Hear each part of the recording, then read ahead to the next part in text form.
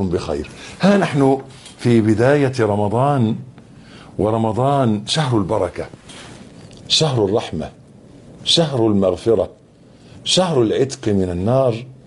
وإذا كنا نقول ما أعظم رمضان وما أعظم بركة رمضان وما أعظم الفرحة برمضان إلا أننا نقول وأيضا ما أخطر رمضان.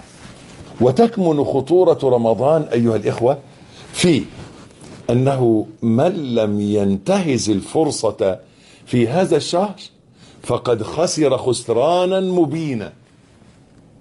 حقيقة أليس قد قال رسول الله صلى الله عليه وآله وصحبه وسلم رغم أنف من أدركه شهر رمضان فلم يغفر له. هو دعاء جبريل عليه السلام وتأمين رسول الله صلى الله عليه وسلم وهو على المنبر.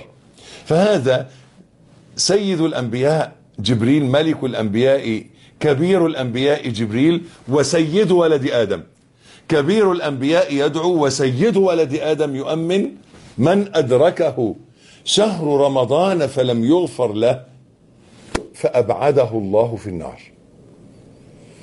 هذه الفرصة العظيمة أيها الإخوة هذه المنة الجسيمة أيها الأكارم تحتاج إلى انتهاز الفرصة كما يقولون أن الفرصة تأتي مرة واحدة. فانتهز الفرصة. انتهبها. هذه الفرصة فرصة أن يغفر أن تغفر لك ذنوبك. كم قلت؟ عديدا من المرات أن رجلا عليه ملايين الجنيهات مهدد بالحبس والقتل. ثم أتته فرصة لكي يسدد جميع ديونه فلا يبقى عليه دينار ولا درهم. إذا أضاع هذه الفرصة فأي رجل هو؟ ماذا تسميه؟ هذه فرصة. فرصة رمضان أن تغفر لك ذنوبك. ما تقدم منها وما تأخر. قال رسول الله صلى الله عليه وسلم من صام رمضان إيمانا واحتسابا غفر له ما تقدم من ذنبه. بل هي ثلاث فرص.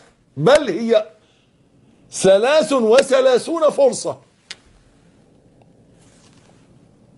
من صام رمضان إيمانا واحتسابا غفر له ما تقدم من ذنبه. من قام رمضان إيمانا واحتسابا غفر له ما تقدم من ذنبه. من قام ليلة القدر إيمانا واحتسابا غفر له ما تقدم من ذنبه. كل ليلة لله عتقاء من النار. 30 ليلة ب 30 فرصة للعتق من النار. إضافة إلى الثلاثة الأول 33 فرصة لتصبح بريئا سليما ناجيا سعيدا. من يضيع هذه الفرص؟ إن الذي يضيع هذه الفرص إنه إذا لمخزول لمخزول. وإنما تنتهب هذه الفرص وتنتهز ويفاز بها إذا أحسن المرء استقبال الأمر. أن تستعد له تلكم الأولى وأن تنتهزه وتحسن استغلاله.